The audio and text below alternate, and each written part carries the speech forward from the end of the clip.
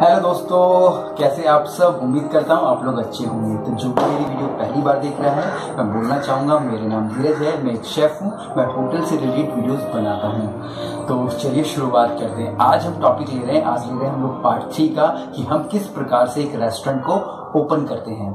हमें क्या क्या स्टेप्स लेने पड़ते हैं। इससे पहले मेरी दो वीडियोज़ हैं, आप पीछे स्क्रॉल करके देखेंगे तो आपको मिल जाएँगी। तो पहली, अगर मैं पहले आपको बता दूँ मैंने पुरानी वाली वीडियो में क्या बताया तो जब से पहली वीडियो थी, उसमें हमने बात करी थी कॉन्सेप्ट के बारे में और लोकेशन के बारे में, कि हमें कैसे डिसाइड करना है कॉन्सेप्ट का और लोकेशन का। दूसरे वाले पार्ट में हम लोगों ने डिस्कस किया था किस प्रकार से हम लोग को जो जो पेपर वर्क चाहिए होते हैं, जो जो लाइसेंस चाहिए होते हैं, उसके बारे में। और आज हम लोग बात करने वाला है, जो कि बहुत ही इंपॉर्टेंट है। क्योंकि जो सारा खर्चा है आपका जो पूरी इन्वेस्टमेंट है उसका काफ़ी बड़ा हिस्सा इस चीज़ पे लगता है। यह है आपका इक्विपमेंट्स का और आपके फर्नीचर का। जी हाँ ये आपका एक महत्वपूर्ण पार्ट है। आ, जैसे कि आपने अपना कॉन्सेप्ट डिसाइड कर लिया है आपने पता लगा लिया आपको क्या, कौन सी कुजीन आपको खोलनी है। और आपने ये भी डिसाइड कर लिया कि आप क्लाउड किचन पे जा रहे हैं या एक कैजुअल डाइनिंग पे जा रहे हैं तो आपकी जब बारी आती है आपकी बारी आती है इक्विपमेंट खरीदने की किचन के इक्विपमेंट और अपना फर्नीचर खरीदने की। जी हाँ तो आप लोगों को ये डिसाइड करना है।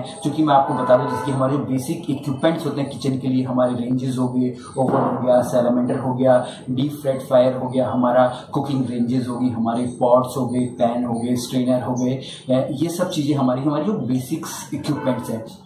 इसके अलावा जो आप एक स्पेसिफिक कॉन्सेप्ट पे जा रहे हैं, आप लोग चाइनीज़ पे जा रहे हैं तो आपका वॉक होना आपका बहुत ज़्यादा ज़रूरी है। या इंडियन में आप कबाब्स वगैरह चाहते हैं तो आपके पास तंदूर होना ज़रूरी है। तंदूर आपका इलेक्ट्रिक भी आ जाता है गैस भी आता है तो आपको देखना है कि किस हिसाब से आपको सहूलियत है। तो आपको ये खुद डिसाइड करना है।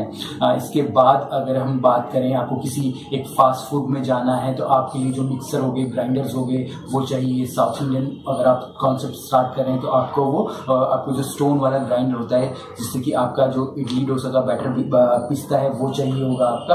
तो ये सारी चीज़ें आपके कॉन्सेप्ट पे डिसाइड करती है। और आपका जो इन्वेस्टमेंट का काफ़ी बड़ा हिस्से आपके चला जाता है। इसके अलावा जो आपकी वर्किंग टेबल्स होगी, आपकी नाइट्स हो गए, जो बेसिक रिक्वायरमेंट है आपकी। इसके बाद अगर मैं बात करूँ अगर आप एक रेस्टोरेंट खोल रहे हैं तो आपको फर्नीचर हो गया आपका आपको उस पर आपको पैसा खर्च होता है आपकी जो चेयर होगी टेबल्स होगी उन उसके ऊपर हो गया आपका खर्चा पैसा आपका।